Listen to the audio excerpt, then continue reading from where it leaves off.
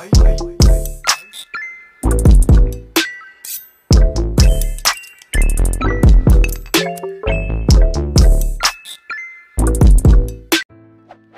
guys, this is Akshat and in this video I have this Brother 2321D laser printer which I have been using it for quite some time now. So I decided to give you guys overview about it. So let's get into it. As for the specification, it comes with 8 MB of RAM and weighs around 6.8 kg. It can print in 600 x 600 dots per inch resolution with a maximum of 2400 x 600 dpi quality. Maximum paper capacity of the tray is up to 250 sheets. It means you can print up to 250 pages at once. In the box we get one printer, one CD with drivers, power cable and USB 2.0 connect cable, quick setup guide and a warranty card with 1 year on-site warranty.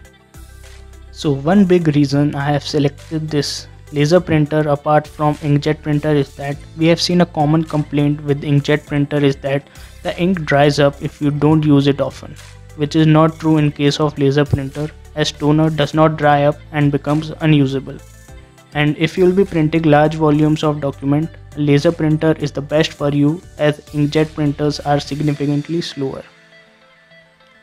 This brother printer comes in single function with monochrome printing which means that it only uses one black toner cartridge. That is it prints using black ink only and it is generally more cost efficient than the colored printer comes with 30 ppm rate which means number of pages per minute the printer can print. So it can print up to 30 pages per minute which is quite fast compared to other printers at this price point. Comes with auto duplex printing which means that your printer support printing on both side of the paper. Once one side has printed the paper will go back into the printer saving the paper and your precious time up to 2600 page yield.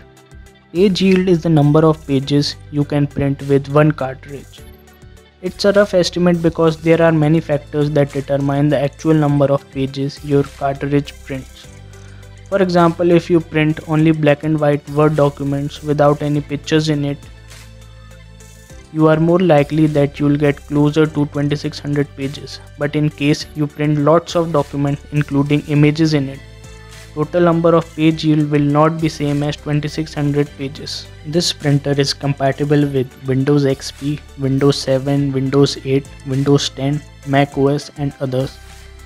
Supported page sizes are A4, letter, A5, A6, executive, legal, folio, etc.